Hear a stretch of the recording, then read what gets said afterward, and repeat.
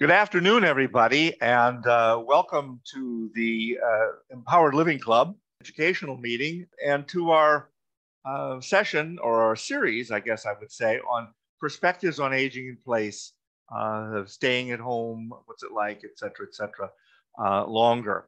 Uh, today's session is Are you a family member or are you a caregiver or what combination?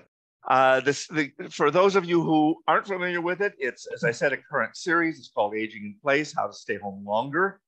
A series of discussions with industry experts, which provide some hopefully unique and empowering insights. And I can tell you uh, that we've had them, we're into about our sixth or seventh session, and we've had some good ones. They are available on the, on the club uh, website. Uh, as I say, today's perspective is, are you a family member or a caregiver? And that certainly goes along with, you know, keeping yourself or keeping mom home, whoever mom is. Uh, and it says, learn how to make informed decisions regarding uh, the care of your loved ones. So how do we keep mom home if that's the uh, objective? Uh, there's a disclaimer that says that this is educational uh, this is not uh, advice that people can rely on and say, well, somehow, you know, I, I took this as gospel and I and I relied on it to my detriment. Every situation is different. Uh, it's brought to you by the Empowered Living Club. I've mentioned that the Empowered Living Club, and it's particularly appropriate that I mention it this uh, for this session, because the Empowered Living Club is a is the uh, originally the Aging Solo Club and it has been renamed. It has been expanded in its mission, expanded in its membership. It's been renamed. It's now called the Empowered Living Club. And the reason it's so apropos today is because our guest, who I'm going to introduce in a moment, Marilyn Wolke, is the person who helped us launch the Aging Solo Academy, uh, the six week course that we did about uh, three years ago, I guess it is now, shortly before the pandemic. So this is uh, Marilyn has been part of this really pretty much from the very start, and uh, we're welcome to uh, we're we're we are uh, happy to welcome her back today. Uh, so as I say, our expert today is Marilyn Wolke. Marilyn is a gerontologist. Uh, she, as I say, is a master of social work and a certified dementia specialist. People in the Quad City region where we center are very, generally speaking, very familiar with Marilyn and her work. Uh, she worked with Alternatives for the Older Adult uh, and other organizations, uh, and she's run support groups, et cetera, et cetera. So this is uh, right up Marilyn's alley, and um, uh, we're excited to have her with us uh, together.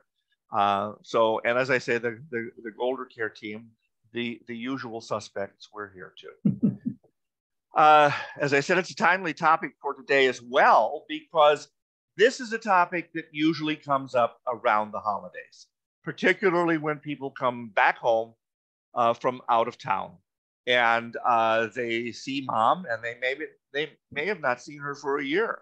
It could be less than that, more than that, whatever, but and there may be some changes. And so these types of conversations come up. Sometimes they come up with the family or family members Sometimes they come up with mom or don't.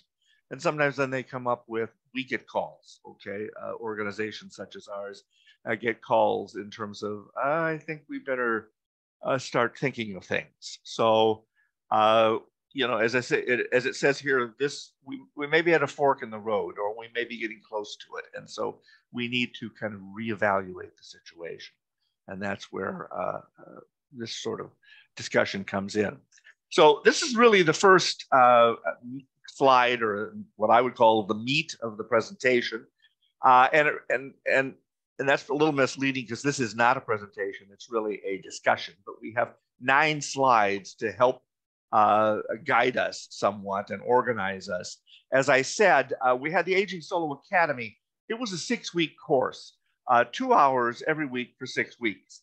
And some of the stuff that we're touching here, folks, uh, or that we're um, covering here today touches upon all six of those sessions.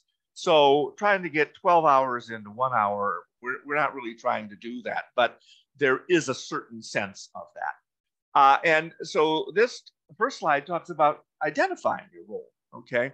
Uh, what are you a family member? Are you a caregiver? Uh, maybe you're not a direct hands-on caregiver, but you're a care manager, uh, and you're in charge of mom's care. Uh, she can't do it for herself.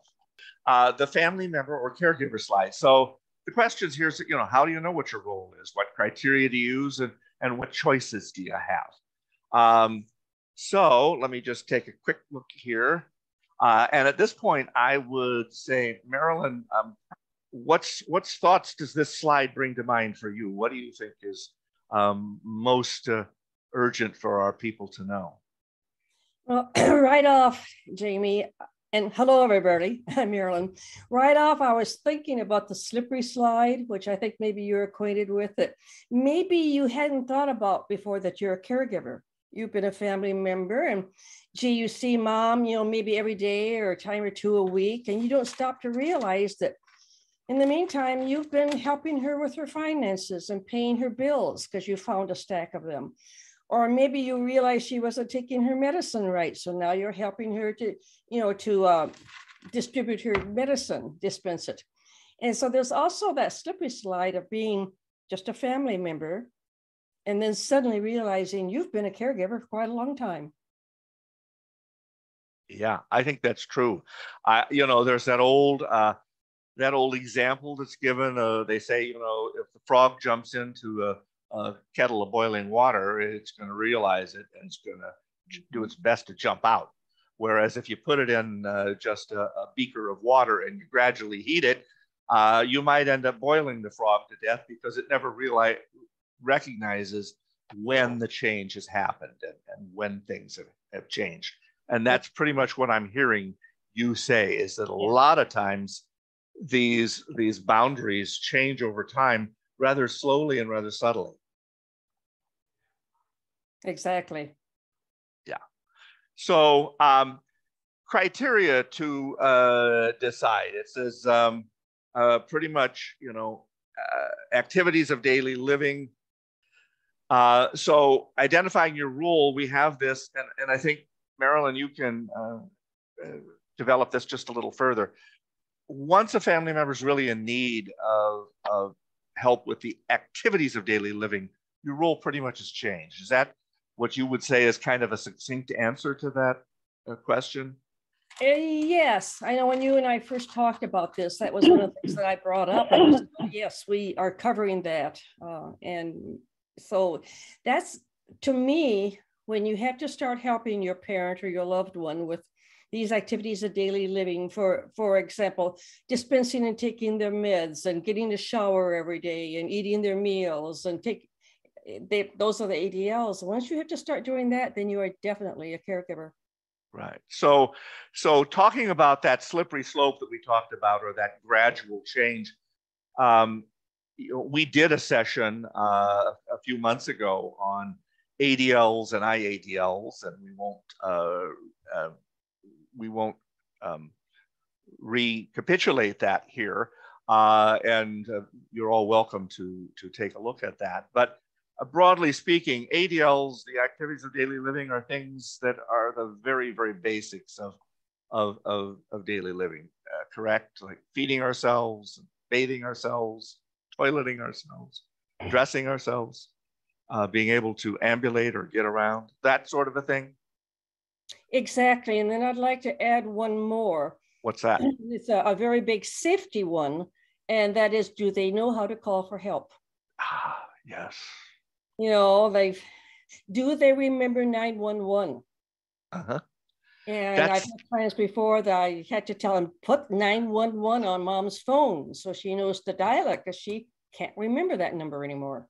Well, you know, it's, uh, as I say, this is a, is a discussion and it is to get uh, insights and perspectives. And so this is material that I recognize, but you have just provided me with a fresh insight in a way that I had not thought of these things before. And that is the safety piece as an, as an ADL. Okay. We, we certainly know that if you're going to leave mom alone, uh, that is she safe uh, staying alone. But we don't really characterize it as an ADL normally. Um, yeah, I'd like to add another one with that, and that is to check their medications. Yeah, yeah. That, you consider that you consider that more of an ADL than an IADL? Yes, I do. Because if okay. they are taking them right or they're double or triple, you know, if one is good, well, then two or three must be better. And a lot of your older people have that attitude. Yeah. So they yeah. might be overdosing themselves or they might be completely forgetting to take a certain medication. And, for, for today's discussion, the IADLs are what we call um, the activities that kind of surround your ADLs. Uh, they're called instrumental activities of daily living. So I, I can I can ambulate, I can feed myself, but I don't do meal prep. I don't do grocery shopping. IADL, um, right. Right. I don't um, uh, I can ambulate and, and do all those things, but I don't do house cleaning. I don't do mowing the lawn. I don't do shoveling of the snow. Um, sometimes uh, the the prescriptions are considered to be kind of IADLs, and and I think increasingly, I, I think things are going with the way you're thinking there, Marilyn. I think that uh, the the dosage and taking the drugs is probably more of an ADL than, than an IADL because it is so important and it can right screw right. Up. And, as you know, Jamie, I was a community case manager, and we we put that right up there with the ADLs. Safety okay. again, right? The, safety. So maybe I can be left alone. Maybe I don't need 24 hour supervision, but nonetheless, I, I, I don't handle my financial affairs. Somebody else handles them. Or I can be left alone I, uh, you know, for periods of time. I don't have to have constant supervision, but I really need help in taking my medications. Maybe I can be left alone but if I've forgotten how to call 911, maybe I can no longer be left alone.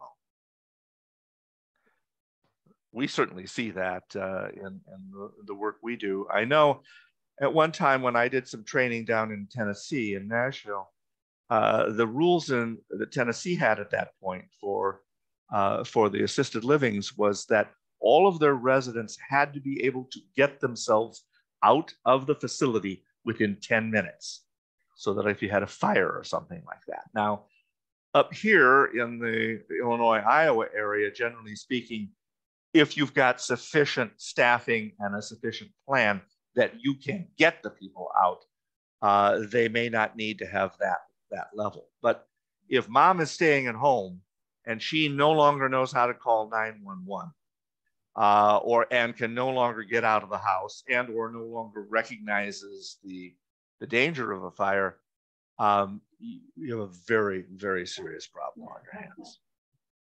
Okay, that really leads to a need for essentially 24/7 supervision of some sort.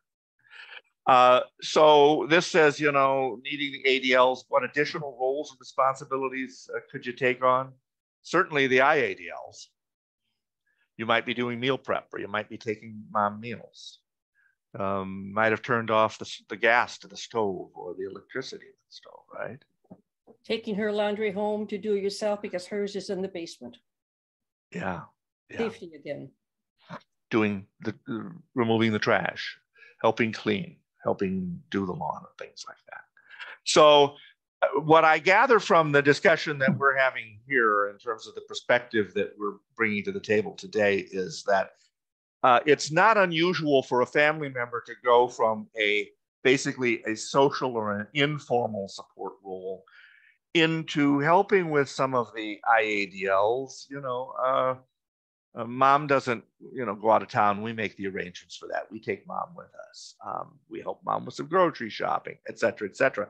But when you get into the into the ADLs, the serious activities of daily living that are the, the most basic, then at that point, what I'm hearing you say, Marilyn, is that at that point you really should consider yourself a caregiver. You most definitely. Okay. Should we go to the next slide? And was that okay? So we, we were talking about how do you know your role? What criteria do you use to decide? What choices do you have? Um, I guess that, you know, what criteria do you use to decide? Well, you've given a basic criterion there in terms of the need for ADLs. How do you know your role? What happens when there's multiple family members? Or what happens when you're out of town? Okay. Um, you know, I uh, think I think your first question or first comment was how how many siblings do you have? Yeah. Like let's say there's five children. Okay, that's good. You think, oh boy, five children to help mom, but forgot to say four of them live out of state. right. I found all the time. It usually fell the role of caregiving falls on a daughter and usually the youngest daughter, because she's still around, or the one that lives closest. And heaven forbid that daughter be a nurse, because then for sure she's got the full load. right. And the full level of criticism or, or scrutiny. Yeah. Would you agree? The 4 mm-hmm. Okay. We don't have really time to get into that today, and that's a really separate discussion, but but the family dynamics of of of the family caring for mom is a huge issue in and of itself. Would you agree? Oh, definitely, definitely. Like I just said, you know, there or is it just one child? Like, like I, I was lucky. I had a brother who lives in northern Iowa, so I was it. And my husband was an only child, so we didn't have to decide, you know, who does what. we we didn't have anybody do that with. Right. So one of the things that we hear here is the the phrase is oftentimes put, "I want to be a daughter again. Uh, I, I want to be a family member and not and not just a caregiver." Or I'd really, I'm exhausted with the caregiving and I and I really want to go into the family again. Um, anything you have to say about that? Probably a lot. but I think maybe it belongs another slide because that's where I'd like to get in for the caregiver taking care of themselves. Okay. To allow yourself time to be yourself as well as time to be a daughter, not a caregiver. Uh-huh. Good. Well, so. let's go to this this slide. It says roles of a caregiver. Okay. And uh, particularly when you're a family member, are there certain requirements or limitations? Are there what we call the traps uh, and um, one of the things that I wrote down, uh, just a couple of notes that I wanted to make sure. Generally speaking, you can walk away. In other words, you have the right, in terms of the rule system, generally speaking, to walk away if it's not something you can do or, or for whatever reason. However, in some places, there are uh, filial responsibility rules. So, for instance, in uh, Pennsylvania, if mom is placed in a facility, uh, you as a family member may be called upon under the law of that state to contribute to her care. So there are some special um, uh, uh considerations. In most states, that is not currently uh, the rule. Similarly, with care, with family members, there is a you know there's a five year look back for gifting, and uh, we're not going to get into that today. But if if mom ultimately goes into uh, say nursing care, or if we try to bring uh, uh Medicaid services into the home, there is that five year look back, and if mom has has given you money for helping take care of her, that may be construed as a gift and it might it might uh, disqualify mom or create some some issues uh, or obligations for you to perhaps pay some of that back. So it says here are the requirements for as a caregiver for a family member? And and i would say from my experience that the biggest requirement there is that you treat it as an arm's length transaction. So not only is there the insult of of not being able to be a family member as, as much as you were, but you're really forced upon taking a, a much more formal role than you might wish to take, even beyond the caregiving piece. Uh, so I, I think that that's um, uh, important. And I was struck by one of the statements that you made when we were talking in preparation for this, Marilyn. You said there are lots of serious consequences to being a caregiver. So yeah. what would you what what what what perspective, what insights do you want, need to share with us at this point? You're hitting upon some of them, Jamie, and that's where people, anybody to me who is a caregiver of an older person needs legal help because there are legal ramifications like like you are talking and then you know if they need to go on public aid how to do that legally and the like so they need to talk to you i think one of the main things i said to i meant when i said that was burnout caregiver burnout and a lot of people don't realize that they are burning out and what it can do to the health. I don't know how many times I came across caregivers that thought they had to do it all or most of it all. And I tried to stress to them, you know, share, share the load, hire some help, get some help. And then the caregiver ended up dying before the care recipient. That happens. We've seen that, that a lot. It happens a lot. It does. Yeah. And uh, some again, sometimes it's that slippery slope. They're into it too deep and don't know how to get out, and don't ha- have too much pride to ask for help, or don't know how to ask for help. So and, one of the things that I'm hearing you say is that most of us have a tendency, or many of us have a tendency, to either disregard or underestimate the gravity of caregiving, uh, not only for mom, but for ourselves. For ourselves. Mm-hmm. Especially what I, yeah, what I'm referring right now is for ourselves. Like I said, I've seen too many burn out, or maybe I've even seen caregivers in denial that they are getting stressed out. I remember I had one lady when I visited her the first time here, she is taking care of her husband who had Alzheimer's. And then she was taking care, care of two grandchildren. One I think was like kindergarten or first grade, and the other one was like two or three years old. Mom was at St. Jude's Hospital with her third child who had brain cancer. So here's grandma taking care of husband with moderate dementia, a preschooler and a first grader, and I have no idea how she got that first grader to and from school. And I told her, You are stressed out. You need help. And she says, I'm I, I'm stressed out. You think so? it's stressful just to watch from the outside, isn't it? And so there was a woman who was in denial, and there's a lot of caregivers who don't realize what they've taken on and what is taking of themselves. So, would you say that it's one of your jobs and one of our jobs to try to sensitize people to some of these issues so that they can be more mindful about attacking things? Be more realistic about your situation. Yes. Yeah. Yeah. I think that that probably is one of the central points that uh, of this discussion is, you know, your your role as a family member versus caregiver, et cetera, et cetera. You you've got some real you need to be very mindful Okay, it has serious consequences for everyone in many many ways. Mm-hmm.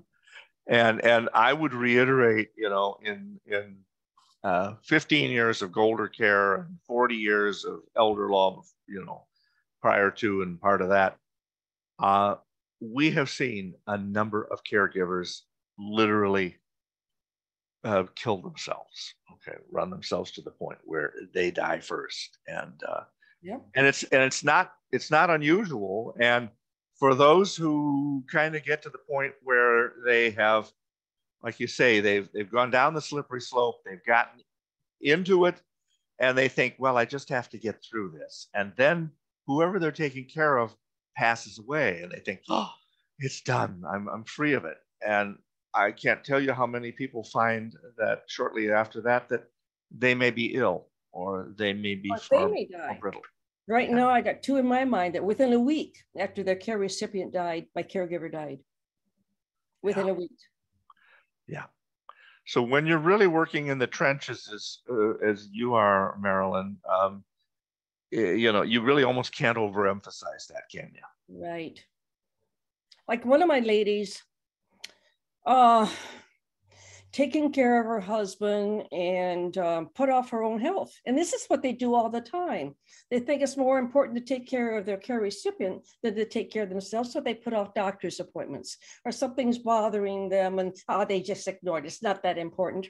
And this one lady, when she finally had a chance, I she went to the doctor and she had cancer, advanced cancer. Too late to do anything all because she waited too long to see the doctor for herself. Yeah, yeah. Well, let's. Uh, we're going to get even more into that uh, aspect that you're talking about there, Marilyn. There's a couple of slides I see that we have. Uh, this one here that Gail's brought up says our role as a family member. Uh, I think the point here is it's important to remember that your role as a family member is important too. And I and I take it, uh, you know, you're you're very much there as well. Well, you mentioned earlier too, and that that also could be if you are the main caregiver, you're going to get the probably the criticism from the rest of the siblings. So you've got to understand that role too, and try to get them informed as much as they can and involved as much as they can. Yeah, I think that that when we talk about the mindfulness aspect, uh, you know, and and the issues with denial. Uh, it's good to get everybody on board to the extent that you can. Right. Uh, and it puts a burden on the caregiver to some extent because you're you're um, uh, you're accounting to the rest of the family. You're being transparent. You're being authentic, and you're well, you communicating, and as you should be. But it's an additional piece. So not only is part of your role as a caregiver to take care of mom, but part of it is maybe not to take care of your siblings, but to communicate to them what what they need to know, what's going on with mom. Right. with that? Right. And try to get them involved. I had, and I wish I still had it so I could, I've shared it with you. I used to have, it was a list of things, things you could do to help me. Like, for example, let's say I'm doing all the caregiving when my brother comes in. My brother says, Well, if there's any way I can help you out with mom, let me know. Oh, okay, I will. That's like throwing the basketball at me, but landing it in somebody else's yard and I never get it back. yeah, but so what this was was a list of things. Oh gosh, at least 20, 30 things of the of what other people could do. Maybe it's come and spend three hours once a week with mom sit with her, talk to her, share stories with her, show her pictures. And that three hours is three hours of respite for you, the caregiver. But it was on the list. And what I would tell my caregivers do to do is check two or have have your other family member check two or three things that they will do that they can do to help you and then that way they are committing to doing something and you feel more free in asking I love that idea. It it it what it brings to mind for me is I know that uh, churches, when they're looking for raising money and there's certain things, they will often prepare a wish list. You know, mm-hmm. we want a uh, we want something in the garden for this, or we need something in the sanctuary, or we need something painted. So we need people to do to yeah. to donate time or money. This is yeah. really that same concept, isn't it? It's yes. a wish list of things that can be done that are concrete, that are not um, uh, oppressive, and and yet will will do a lot of help, a lot of yeah. good. Yeah, bring in dinner once a week, or come make dinner once a week. Little things like that. Do the laundry. Take it home and do the laundry and bring it back all cleaned and pressed. And like I said, there was at least 20, if not 30 things on that list.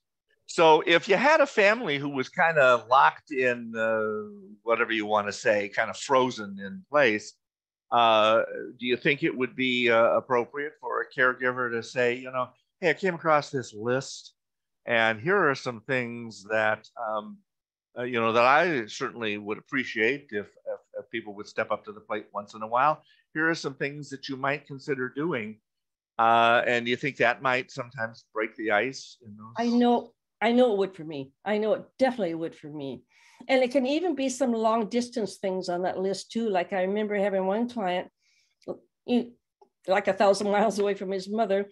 And so he called her beautician and paid for her to have her hair done by the beautician once a month. Can you can you guess what that meant to mom? yeah. I thought that was the most beautiful thing for a son to think of doing for mom. Yeah. That uh, that's a great idea. yeah. I, I like that a lot. So, uh, two things I would say here in terms of your role as a family member. Uh, one of the points that was made in the Aging Solo Academy is we talked about informal supports, friends and family and neighbors and whatever that provide some of the socialization and things like that. That's important. And certainly, your role as a family member, it's important to serve as that um, as that um, informal support. Um, and, and certainly going along with that, the socialization aspects are vital, yeah. not only for mom, but for you as well, going along with what Marilyn's talking about in burnout. So you don't want to overlook the amount of socialization you need or the amount of socialization mom needs. Um, I, I, for me, those are the primary or the most important aspects in terms of our roles, family members. What do you? What would you say to that, uh, Marilyn? Yeah, I'm, I'm thinking right off as a dementia specialist, I can tell you two ways to slow down. I can't say prevent, but slow down uh, dementia or Alzheimer's. Number one is to remain active physically, and number two to remain active mentally. And so the more the family members can keep mom and or dad active, busy, doing things, not just sitting in front of the boob tube all day watching shows on television, but actually being active, whether they're going out for a walk or for a ride or going out for lunch at their favorite bar, whatever. Keep them active, keep them doing something other than just sitting all day and engaged as well, would you say? Engaged, thank you. One of my favorites, I hope you don't mind my mentioning it, is adult daycare. Yes. I I worked at the one in Illinois. Um, after I retired, I still wanted something to do, and so I worked at the one in Illinois for two to three days a week. I loved it. It was my, my favorite job ever. Just be mingling with these older folks and talking with them and making them laugh and smile and, and playing games. And we saw them respond. My office was near the front door. And so family members would be going by all the time. And so often they stop in and say, this is shortly after they started they, their family member attending. They stop into me and say, I don't know why I didn't have mom come here earlier. She is so much better physically and mentally since I've started her here. Yeah. So that's I want to put a, put in a big plug for for yeah. adult centers. It is, and it gives the caregiver some there respite to yes.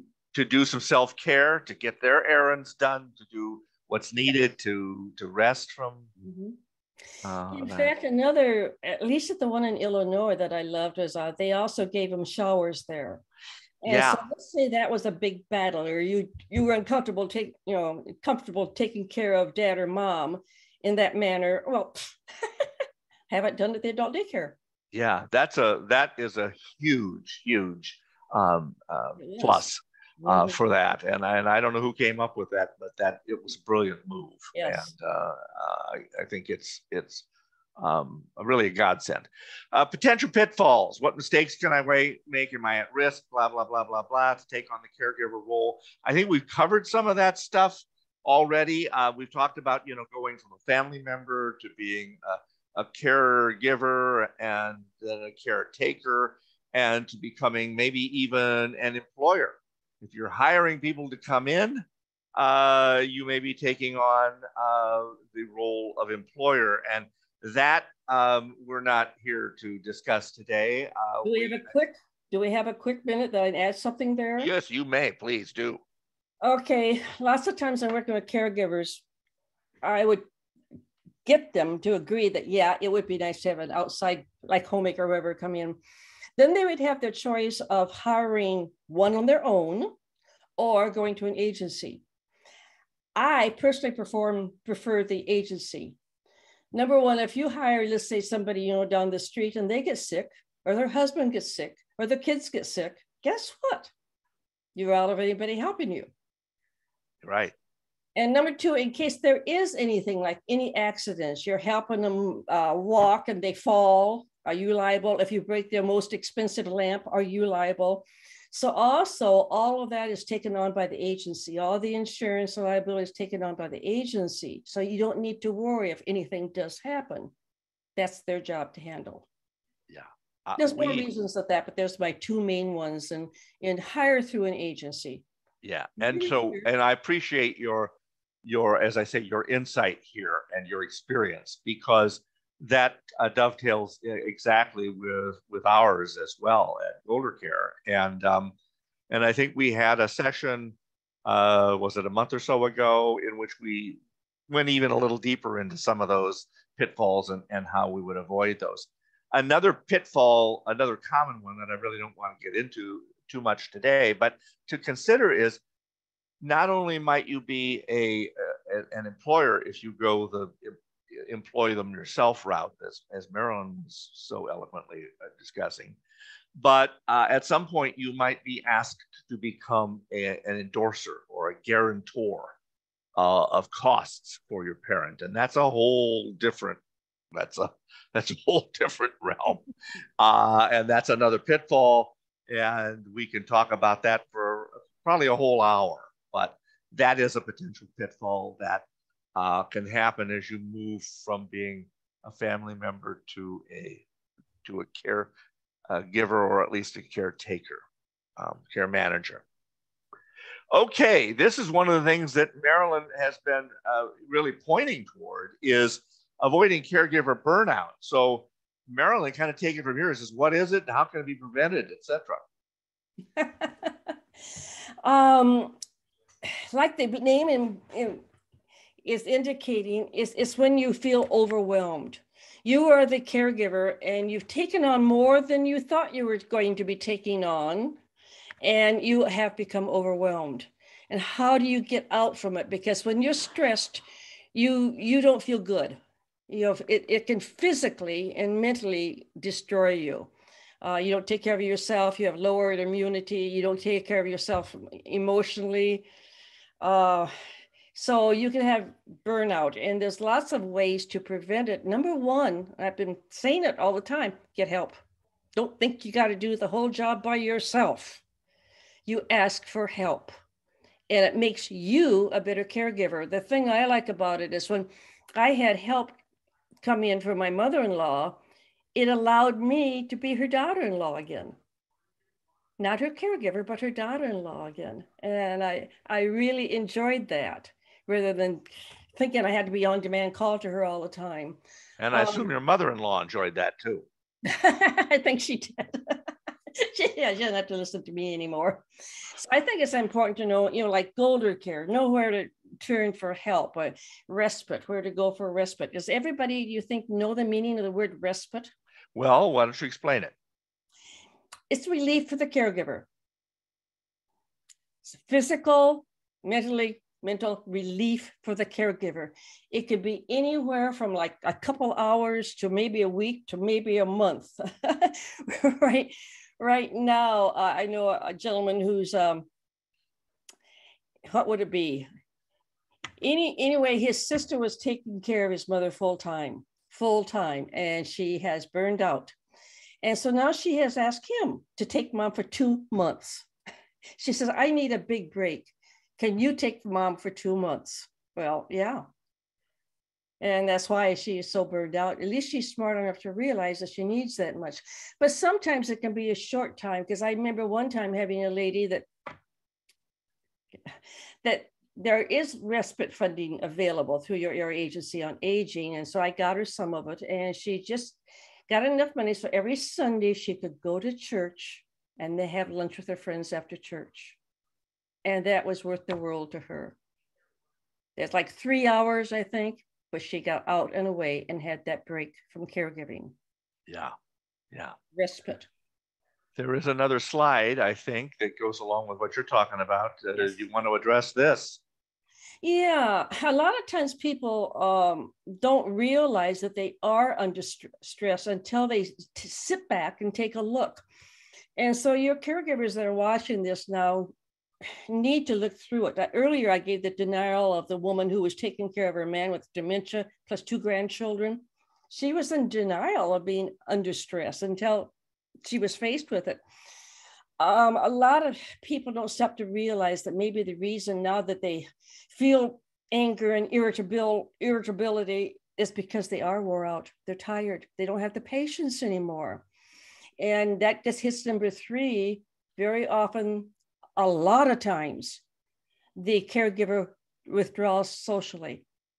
They stop yeah. going to church. They start going, stop going out to, you know, for lunch with friends. They stop uh, shopping, you know, taking a couple hours to shop or get their hair done.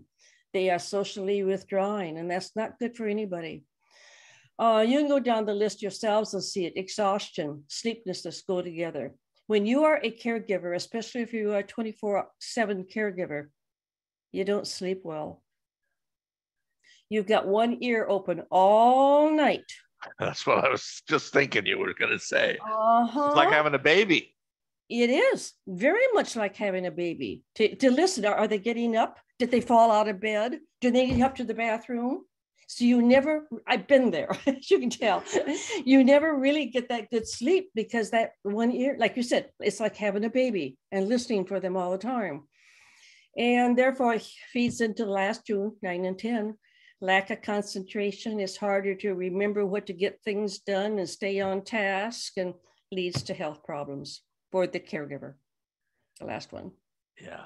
I, I would I would go along with that kind of like your lack of concentration uh, if you become stressed and and emotional about it, it's hard to make good decisions. For sure. Yes. It's not only hard to concentrate, it's hard to remain mindful. Mm-hmm. It's hard to remain rational and on the you know on on the even even keel. Yeah. It, Sometimes it, you operate on a knee-jerk reaction. Oh, yeah. Oh, this needs to be done you know, and go do it without thinking it. Is there a better way to do it? Is there another way to do it? Yeah. Mm-hmm. yeah. There, take a look at that. Now, Marilyn, what would you say to that? I'm 100% behind this. In fact, I know where you got this. I think I told you this. Three things education, education, education. Number one, the first one, I mean, education about the disease. What what is are the actual health problems of your care recipient? Uh, what could happen? What should I be prepared for? Let's let's say it's dementia, and right now they're in moderate dementia, and you're still learning how to handle that. But you know what? They still have another stage or two to go. Do you know how to handle all the behavior you are encountering and, and all the care that you have to take on because they can no longer do things? So get educated on the disease. Number two, and I, am pretty sure your people are doing that, is uh, to get educated on resources, resources in the community. I mentioned adult daycare as an example. Um, and different help that is available in the community. Uh, different groups. Uh, we've got CASI in Scott County here and, and alternatives in Rock Island County. We have all different agencies that all around that provide respite and things like that. And then my third one on education, I can wrap up in basically safety. Learn, learn safety, not only for your recipient, but for yourself. Um, learn things, practical things such as if they can't pick themselves, if they can't stand up anymore, do you know the correct way to help them stand up? So that you don't end up breaking your own back or falling on the floor or down the steps with them. So it's education again in all safety matters, as well as financial and legal problems.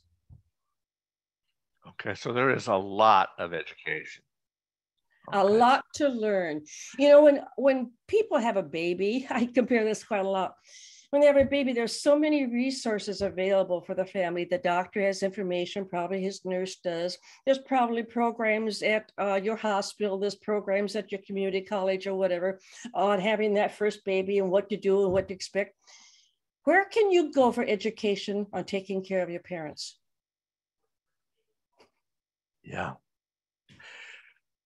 When I fell into it, and I fell into it, bingo, I had, I didn't know what to do. I was totally, totally overwhelmed.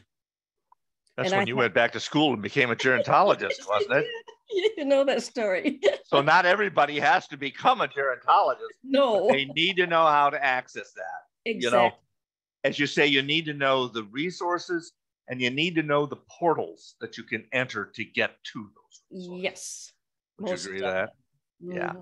Um, you know, used to be that, um, and a number of people have heard me say this before, used to be that professionals, you know, information, whatever, professionals, uh, would sometimes, uh, when, when the internet first started and people would come into the professional's office and say, well, I read on the internet that thus and such, the professionals were somewhat uh, insulted by that.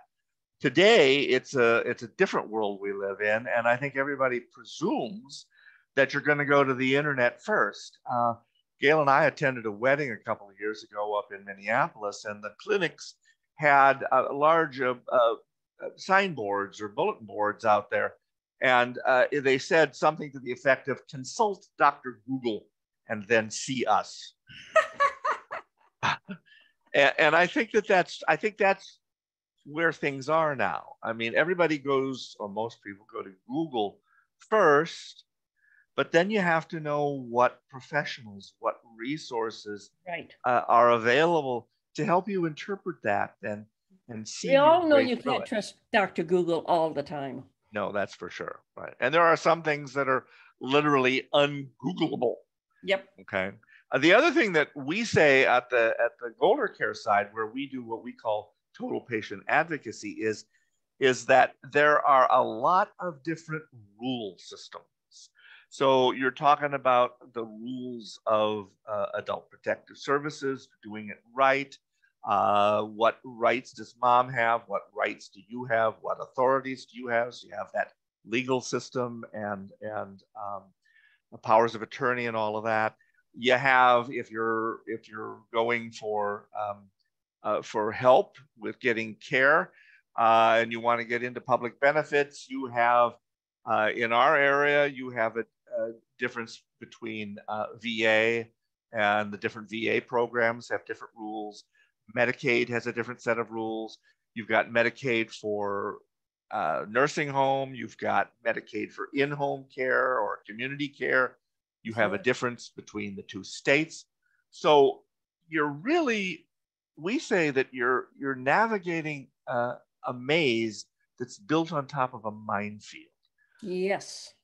Would you agree with that, Marilyn? Oh, and you yes. and so that's why Dr. Google can take you so far, and various resources can take you so far. But you need to know the portals you need to enter, and and the other professionals need to know. Okay, well, when I'm getting to the outskirts of how I can help you, you may need to see so and so. Okay, so as, as you know, as Marilyn is saying, you know, you've got somebody like Marilyn, you may need, oh, adult, you, you may need adult daycare, or you need to know what the resources are and, and who to see and who understands it and who can help you. Or have a resource who knows the resources. For example, yes. I can remember when I did community case management, there were a couple times I called you for help. Yeah, right, right. So and vice versa. Mm-hmm. So so yes, you do certainly if you're a professional in the field, you need to know where the resources are so that you can help your people get to them. Yeah. Yeah. And we've always told people that uh, one of our promises, uh, this is not about us today, but one of our promises has always been if you call us and we can't help you, we promise to help get you where you need to go. We will steer you in the right direction and make whatever referrals uh, we think are appropriate for you. So you can mm-hmm. go on that journey and kind of zero in on the target. So mm-hmm. this, I think, is the last um, of the of the um, uh, uh meat uh, of the presentation uh, slides. And it says, know your long-term goals. Are, are, you really trying to stay home at all costs? Uh, would you consider placement if it's if it's necessary? Um, would you? I know you have some thoughts on that, Marilyn. Yeah. okay, everybody. when I was going to school and getting my gerontology degree, the big emphasis at that time was age in place. and helping that older person or person stay in their home and age at home. So you bring in all the resources such as meals on wheels and homemakers and fi- even financial managers can come in. And I was all for it. Now, I think I mentioned earlier, I live in a retirement community where um, we have assisted living independent living, assisted living, memory care, and then private homes or cottages around the outside where, where I live. And I am seeing all the benefits of socialization and activities. I'm seeing all these people in assisted living and independent living attending activities almost all day long. And I see them so much healthier and so much happier than those people that sit at home by themselves. So I have now changed my mind. I'm now a big proponent of, oh, I mentioned adult daycare earlier, which is socialization and activities, but I'm also now a big proponent of looking into assisted and independent living. They are sometimes pricey, but I think it keeps the person healthier, both mentally and physically, as well as emotionally. There. well, I think that uh, uh, I, I absolutely agree with you. I think that's been an evolution of thought, not just for Marilyn Wolke, but within the industry as well. Yes. In the old days, we used to say, "What's available?" Well, you could go to the you can go to the to the rest home mm-hmm. or the mm-hmm. old age home, and mm-hmm. um, I mean, you mentioned Alternatives, which is one of the local agencies that helps people that you work for. It takes its name from, you know, there is an alternative mm-hmm. to having to just go into uh, a, an old age home. Right. And and what you describe is is really, you know, so you have an alternative.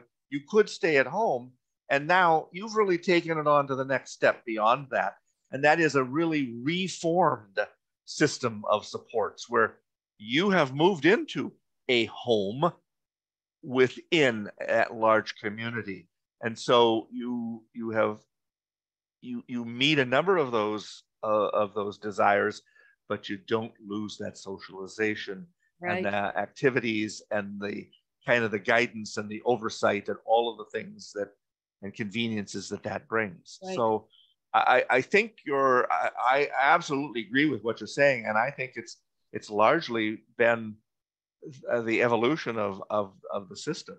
Uh, it, it has been, and when you when you think about it, look at all the growth right now of all the assisted independent living facilities. yeah, yeah, and they're, they're not just little small homes anymore; they're big places that. right.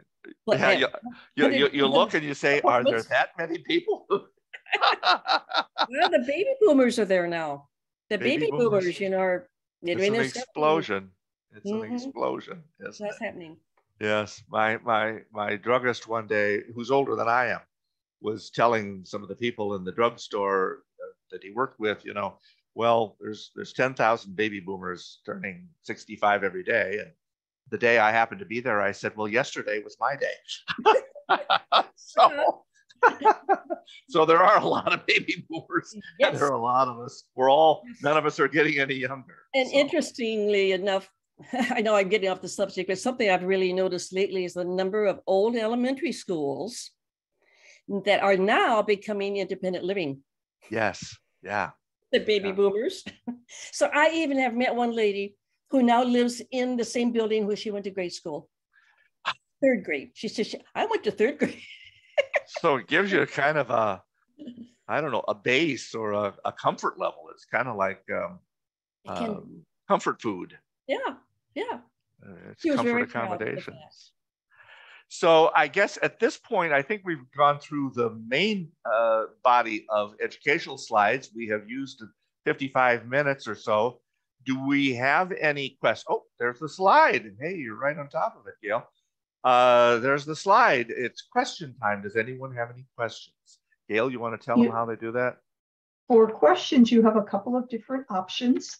You can type your question into the chat area and I'll read the question to our presenters. Or um, you also can, we can unmute you if it's something that needs to be spoken. It can't be just uh, typed in. And your, I, you are all muted. You may not have muted yourself, but I have muted you. Uh, you can unmute by holding down your spacebar key. Um, that is one method. You uh, and you or you can hit the unmute. And let me see. I do have some comments. Um, oh, okay. They're um, basically comments of excellent. Uh, it was an awesome discussion today uh, from a couple of people, but no actual questions yet. So if you do have questions, please feel free to type them in. If you have questions after we're done today, you can always send them to GolderCare, um, either sending them to info at goldercare.com or elc at goldercare.com and leave your, your contact information and we can get back to you then with answers to your questions. And then if we have something we need to submit to Marilyn, we'll go ahead and do that for you. So I got one for you, Jamie. Do we have? Yeah, go ahead, Marilyn. Because I had this happen to me one time. Let's say you got a, uh, neighbors, husband and wife, and the wife has Alzheimer's or some sort of dementia. You know because practically every day she comes over to your house. Now, the husband doesn't keep a very good eye on her. In fact, he even goes off to the grocery store, might be gone for an hour before he comes back to his wife. And in the meantime, his wife has come over to your house. Oh, boy. What do you do? Just that you mentioned to him that he shouldn't do that, but he says, "Oh, she's she's fine. She never goes. She never goes any further than your house. She's fine." But in the meantime, it's a burden to me. What do I do? Well, you you you've hit two pieces to it, uh, Marilyn, as I hear it. Um, number one, one of the reasons she may be going to your house is because he has abandoned temporarily, and she may kind of feel it as that. She may or may not, but that may be why she goes over to your house, and that may mean that you have now become part of the caregiving system. Uh, actually, the formal caregiving system to some extent um, beyond just uh, informal uh, supports, you become a formal support, perhaps against your will, as you've indicated, yeah. and and certainly to your consternation, because it really makes it uh, gives you pause as to when you leave your own home, uh, because you're the you're the plan B, you're the backup, and if he leaves and you're not there, what is going to happen to her? The, the second thing is in terms of his, um, we talk about the traps or the compliance issues or adult protective services issues. Yes. He, he is, that is a form, um, you know, we have to keep it in perspective, but it is a form of a senior or domestic abuse in this case. It could qualify as mm-hmm. either. Uh, it's not physical or sexual abuse. It's not necessarily emotional abuse. It's not financial exploitation, but it is uh, abandonment or or neglect. It's a form neglect. of neglect. Mm-hmm. He chooses not to see it that way, and and that's somewhat understandable. But um, what I, I, will tell you back a situation uh, that we find ourselves in, and that is, you know, I started GolderCare 15 years ago because I had taken, I was an elder law attorney at that time, and I had taken elder law as far as I could.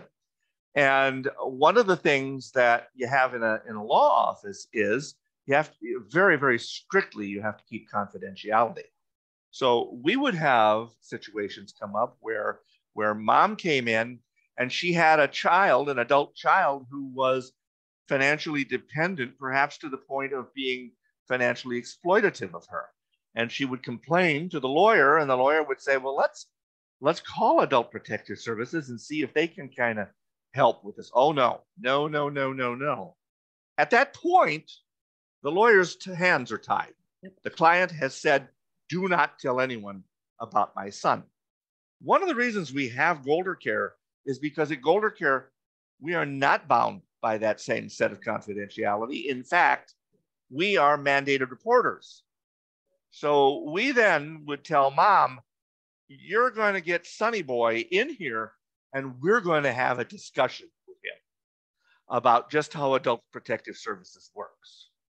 And if that discussion doesn't do the trick, then we probably are going to be talking to adult protective services.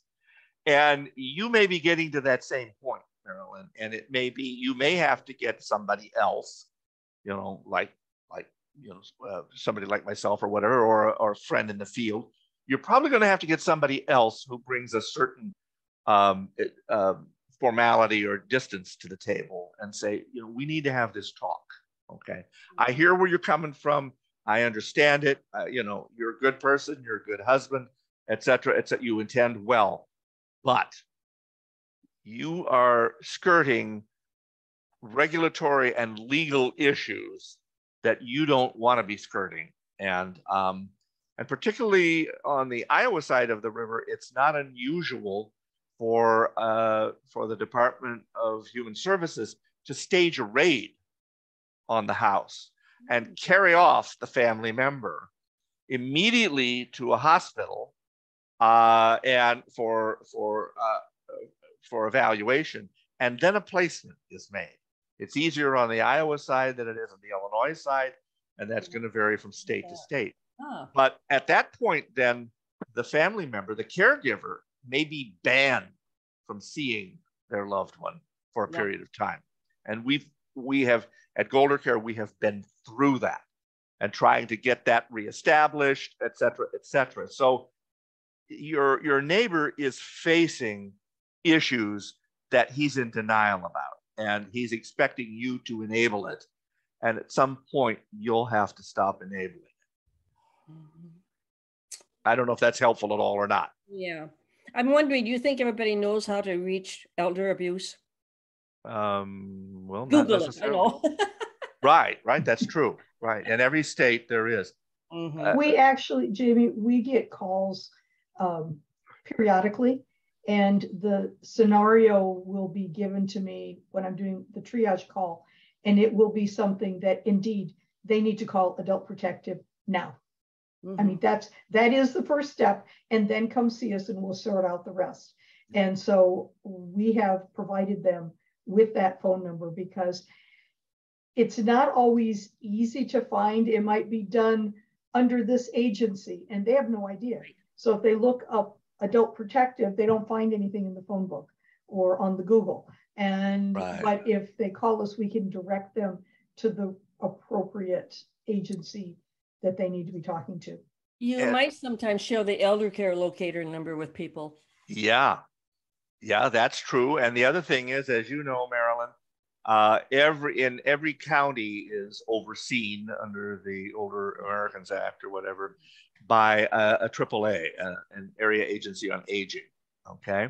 Right. And uh, oftentimes the area agency on aging is the one who controls the funding for the other uh, the other providers, such as alternatives or yes. here in the Quad City area, CASI or whatever. In fact, but, the elder care locator number is often the yes. area agency on aging. And yes. and the yes. the other thing that some of the cities have in this area uh, they'll have a, a senior officer with the police right. department. Right. And that is specially trained. And I believe Bettendorf is the one that has the, the most active uh, person Here in locally. the police department. Yeah. But they they often step in in that situation instead right. of going through one of the other agencies.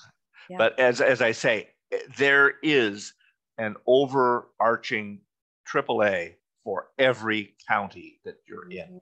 There is always a AAA that you can get in touch with, even if there's not a state department on aging. Okay.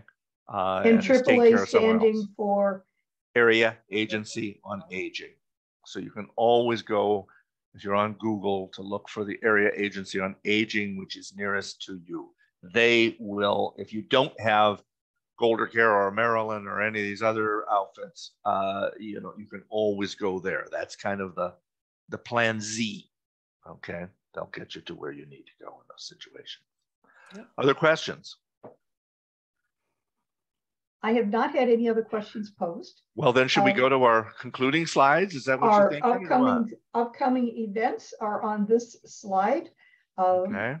Parish nurse uh, will how they can help with aging in place, decluttering for fall prevention, home safety, and accessibility, and activities to keep us active and social while staying at home. avoiding scams targeting seniors.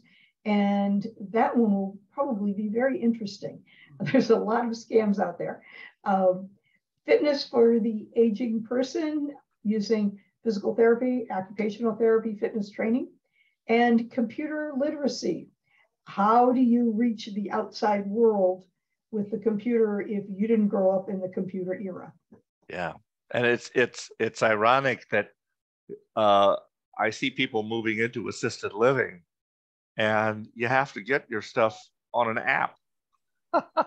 so even in assisted living, so uh, computers aren't optional anymore. but many of those facilities are also offering the classes exactly how to use that app on your phone or your computer. I either have to be able to do it or I have to have somebody do it for me. So, uh, but that's the subject of that presentation. It's 10 minutes after we've gone over. Uh, thank you for joining us today. Uh, you can send us any questions. And um, as I said, this is a series, uh, Perspectives on Aging in Place. I think this one was, was particularly interesting. Uh, I think Marilyn, uh, you you couldn't have offered more. It was it was just great, and I thank I you. thank you. Uh, the only thing we could have done was go for another six hours. uh, I've enjoyed it, Jamie. Thank you. that's right. That's right. So uh, it's always a pleasure, and um, uh, as I say, we're making these available on demand. So if you're interested in any of the list or any of the others, uh, make sure you're in contact with us. And I think they're being posted on the website. We're in the process of developing all of that. And uh, again, thank you. Thank Have a you. good day. And a happy Thanksgiving.